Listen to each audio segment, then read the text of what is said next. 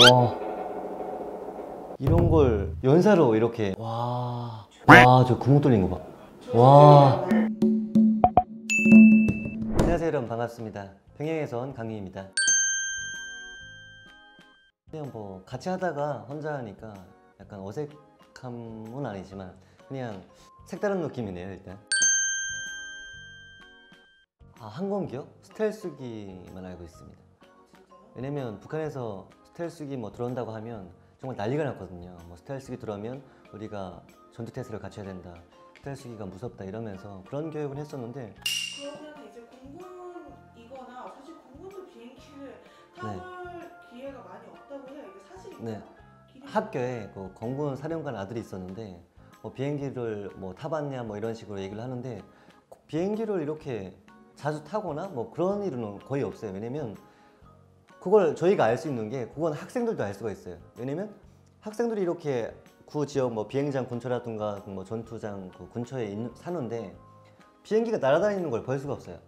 가끔 가다가 뭐 정세 긴장이라든가 그리고 뭐 12월 1일 그리고 뭐 미군이라든가 국군이 이렇게 합동군사 연습할 때 그때 가끔 가다가 이렇게 비행기가 나는 걸 볼 수가 있고 진짜 볼 수가 없어요. 그래서 비행기가 날면 정말 신기해요. 비행기 세 대만 날면 와 이거 무슨 일이 일어났나 막 이런 정도로 신기하면서 아, 비행기를 타는 확률이 굉장히 낮다고 보시면 됩니다. 네, A10 비행기 영상 시청하도록 하겠습니다. is one of the most iconic planes in the US Air Force. A plane developed in the middle of the Cold War with a specific plane to minimize the effect of the recoil pushing the plane off target, typically 1 to 2 seconds, that the pilot doesn't need to worry about stalling.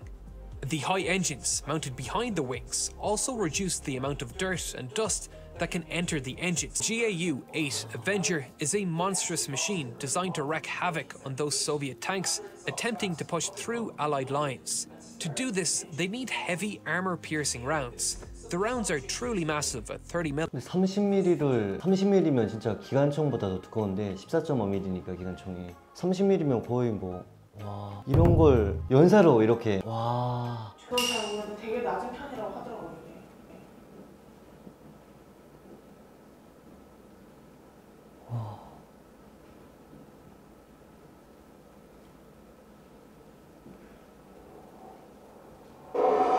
아.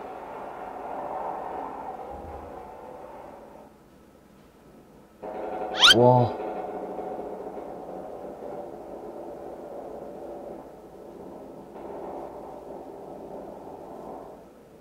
어, 북한 비그로 이렇게 와. 이게 70년대에 만들어진 거잖아요. 어, 뭐야, 뭐야.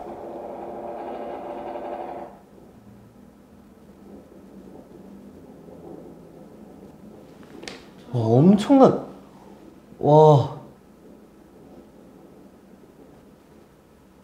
저렇게 낮게 뜨는 게 가능하다고요? 와. 와, 뭔지 이렇게 정도네. 와. 와. 와. 저거 청탄 아니잖아요. 어, 너무 화력이 센데? 아, 그런가요? 와. 와. 대박이다. 굉장히 위협적이네. 와. 저 엄청나던데? 저게 가능하네. 와, 와,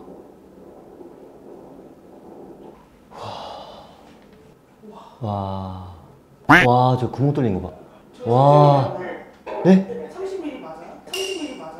어, 30mm가 와 맞겠죠 맞는데 저거 너무 와 근데 저거 일단 군용차다 보니까 저게 약간 북한에서 장갑차라고 하는데 저게 구멍이 다 뚫리고 있고 일단 아까 안 맞은 줄 알았거든요 그래서 아, 못 맞추네 이런 생각했었는데 일단 저거 엄청 맞았네요. 진짜 아까 보고 아 저건 뭐못 맞췄네? 막 실패한 건가? 막 이런 생각했었는데 와 장난 아니네요.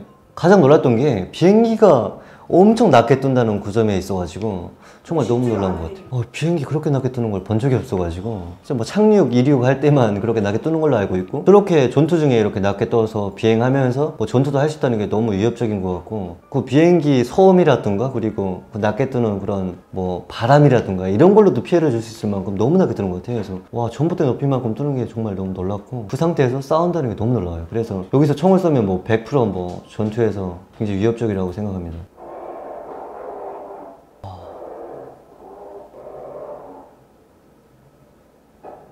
와. 야, 저기 가능한가? 와. 와, 저 탱크 폭발하는 것 봐.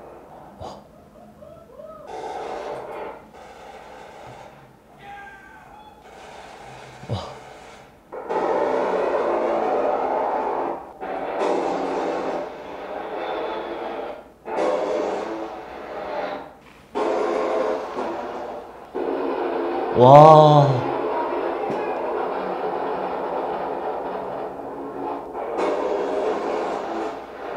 일단 저런 공군이 있으면 뭔가 무서울 게 없고 일단 70년도에 만들어진 거지만 정말 저런 공군이 있다면 약간 자기 군대에 대한 뭔가 믿음이라든가 그리고 든든함 이런 게 있을 것 같아요. 40, 거의 뭐 40년 재해 오는데 그럼에도 불구하고 저렇게. 그 낮게 뜨는 점에서 너무 놀랐고 그 서사하는 부분에 있어가지고 난사하는 부분에 있어가지고 정말 너무 위협적이겠다. 그리고 뭐 약간 땅크라든가 그런 육군들을 이렇게 무력화시킬 수 있는 그런 전투기라서 정말 어, 너무 놀랐고 감탄이 안 나올 수밖에 없네요. 법영한테는 정말 너무 무서운 무기일 것 같아요 저게 정말 제가 듣기로는 그리고 일단 연평도 포획전이나 뭐 연- 연평도 해전 때도 이렇게 우리 공군한테 정말 발렸잖아요. 그럴 만큼 미국 전투기가 이렇게 떴는데 우리 공군이 이렇게 떴다 보니까 정말 다 쫓겨가고 막 그럴 상황인데 그게 없다는 중국이겠죠. 왜냐면 북한에서 남북 간 대립 간에 이렇게 전투 그런 대립이 있으면 뭐 이런 군사적 대립이 있으면 무조건 제일 좋은 걸 내보내요. 왜냐면 자기네 위신이 떨어지니까 자기네 이렇게 군사 강국이라고 하는데 이런 부분에 있어서 뭔가 자기네가 밀리는 느낌이 든다 이런 걸 보여주기 싫으니까 분명히 제일 좋은 걸 내보냈을 텐데 그게 미국 전투기였어요. 그래가지고 무려 뭐 70년 전에 만들었지만 저런 전투기는 뭐 없을 것 같습니다. 네.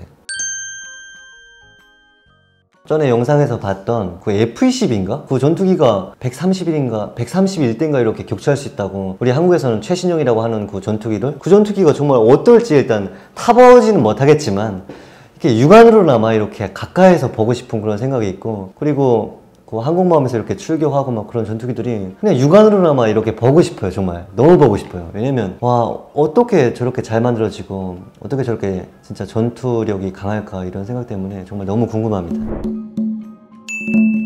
네, 여러분 오늘 제가 여러분이 요청해 주셨던 A10 전투기를 이렇게 보는 영상을 찍었는데요. 아, 정말 너무 충격적이었어요 그렇게 낮게 뜬다는 것도 정말 놀랍고 아직도 믿겨지지가 않고. 네 그리고 여러분이 댓글에 달아주시는 뭐 간식이라든가 뭐 아래에 주소를 남겨드릴 테니까 거기로 보내주시면 저희가 감사히 먹고 리뷰를 남겨드리도록 하겠습니다. 영상이 좋으셨다면 구독과 좋아요 알림 설정까지 부탁드리겠습니다. 여러분 안녕